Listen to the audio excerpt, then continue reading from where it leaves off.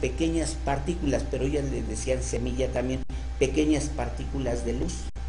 Esas pequeñas partículas de luz eran también la semilla que estaba en el cosmos. Y entonces se reabsorbía esa semilla, se organizaba y daba origen a las plantas, a los seres minerales, a, los seres humanos que retornaban. Entonces, por eso decían que había niños abuelos, que eran niñas o niños que tenían el gran conocimiento. Dice, se nos ha hecho creer que son culturas o civilizaciones diferentes. O sea, la gente quiere decir que los chamulitas y los mexicas son diferentes. Esta es una, una imposición. Si investigamos encontraremos que sus formas son distintas, pero su fundamento es igual. Los toltecas, mayas, zapotecos, mixtecos, totonacos, tienen deidades con similar función, diferente nombre, de acuerdo a su lengua. Así tenemos que la serpiente emplumada tiene diferentes nombres, como Quetzalcoatl, Cuculcán, Nashid, Tojil, que es Quetzalcoatl. El mismo libro lo conoce como el corazón del cielo y con nombres distintos, como Pitao entre los zapotecos y Cosijo. Entonces, hoy tratan de imponer una visión fraccionada. Esa es la intención eh, de los arqueólogos y antropólogos, por ejemplo, norteamericanos, europeos, que eran pueblos distintos, que tenían calendarios o cuentas de tiempo diferente, que obedecían a deidades diferentes. No, eran las mismas, pero con diferentes eh, nombres y algunos con unos atributos característicos así como al desarrollo, por ejemplo, Ustedes observan que había indígenas muy altos, delgados, y hay indígenas muy pequeñitos de tamaño, sobre todo el mayite es más bajito, fuerte. Entonces, de acuerdo a su localización geográfica, fueron a, desarrollar ciertas particularidades, porque pasaron miles de años, y de una generación a otra, desarrollaron particularidades. Por ejemplo, hay pueblos en la tierra que tienen seis dedos. Por ejemplo, en Oaxaca yo he visto gente con seis dedos en los piececitos. Entonces, son particulares. Algunos lo ven un fenómeno. Hay pueblos que inclusive por eso no usan sandalias, no solo aquí en América, sino en otros países, por sus deditos, porque van teniendo ciertas particularidades. Pero esas particularidades se dan por necesidad. Y esas particularidades también son eh, eh, adheridas, implementadas en las divinidades como lo, como lo van viendo ellos de acuerdo a su experiencia y van entendiendo la mecánica con esa divinidad. Ahora, esa divinidad es uno mismo, pero en diferentes dimensiones, en diferentes realidades, en diferentes mundos, en diferentes tiempos. Entonces ellos, eh, las abuelas decían, eh, le podían decir a una niña, es que la niña dijo, él me empujó, no, tú te empujaste. ¿Cómo que tú te empujaste? Sí, porque de alguna manera estás llamando a los acontecimientos que te han de suceder. Entonces, no culpes a tu Dios, no culpes a tu hermano, no culpes al mundo de lo que te sucede. Tú estás solo sola contigo misma y tú tienes que tomar la responsabilidad. ¿Por qué? Porque tienes que ser responsable con el universo. Entonces, cuando cultivas el maíz, cuando trabajas en el telar, cuando haces la comida, cuando dialogas con tus hermanos, si lo haces con honestidad y transparencia, estás siendo responsable de tu cosmos. Entonces, por eso, para nosotros lo que decía hace ratito Frank, no era una, por decir, una ciudadanía que ya te ganaste por nada más por nacer, no. Cada momento tú tenías que ser responsable de tus actos y de esos actos que implican a la colectividad. Entonces ellos no, por eso las leyes eran muy, muy diferentes. Ustedes imagínense, por ejemplo, en jurisprudencia una ley que era una persona asesinaba a otra. Entonces esa persona que había asesinado, la familia, por, por los gobernantes, tomaban a esa persona no como esclavo, pero de alguna manera es la única palabra que se parecería. Tiene que trabajar para la familia, pero la familia era responsable de que no le pasara nada, que estuviera alimentado, que tuviera donde dormir, que fuera saludable. O sea, el homicida tenía que dar la reparación del daño, pero el homicida no podía ser maltratado. Ustedes imagínense, por un lado la severidad y por otro lado este sentir de mm, humanidad, ¿sí? de justeza, aún al que había ido en contra de la ley. E, era un respeto profundo por la existencia, no era un acto de venganza. La justicia no se entendía como venganza.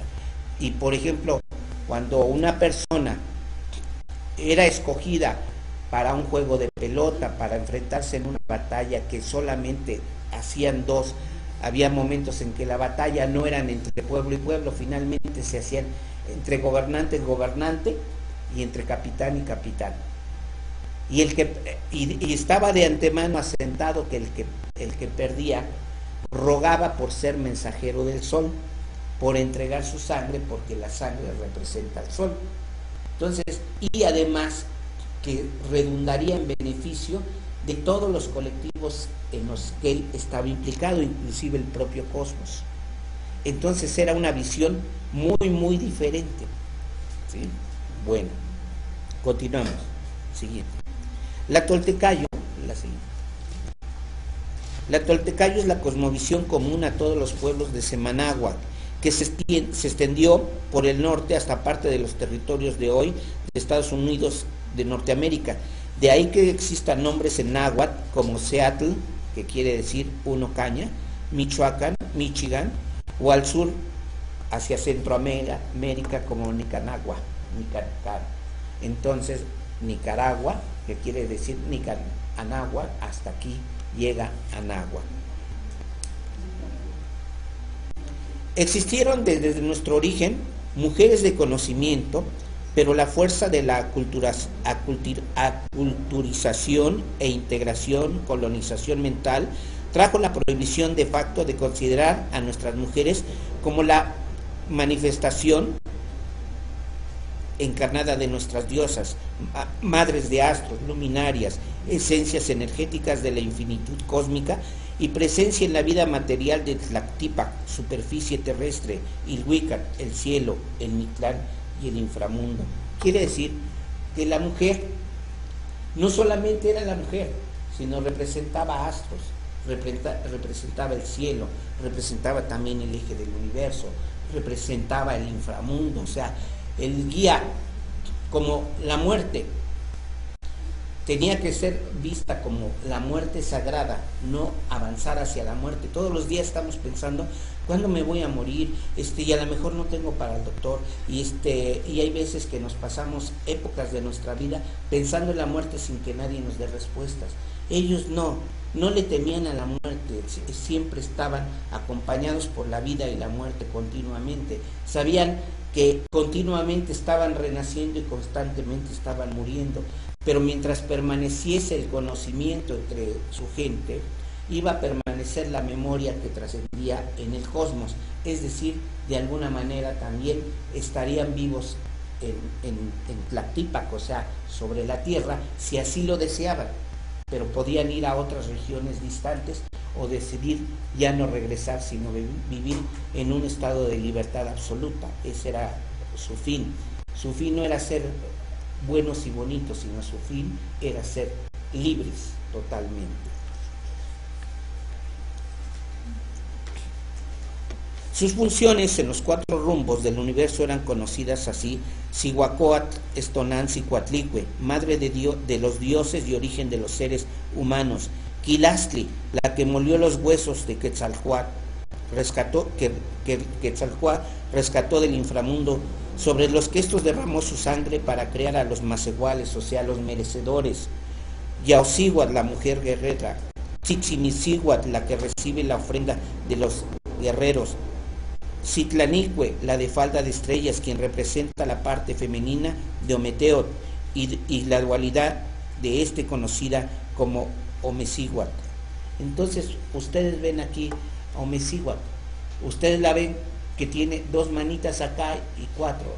Va a representar sus rumbos, su corona de la muerte. Sin embargo, está en, su propio corazón, está un rostro que es humano y es el rostro de la muerte, en, en su propio centro, en su propio eje. Y ella está con sus manos así y las otras está en actitud de recibir.